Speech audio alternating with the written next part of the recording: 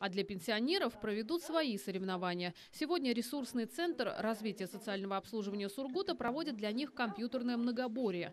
Конкурс пройдет в онлайн-формате. Заявки на участие подали 96 человек. На чемпионат приглашали женщин старше 55 лет и мужчин старше 60, выпускников образовательных курсов повышения цифровой грамотности. Для победы нужно уметь пользоваться сайтом госуслуг, работать в системе Яндекс и знать основы компьютерной грамотности и информационной безопасности. Победители регионального этапа представят ЮГРУ на всероссийском уровне.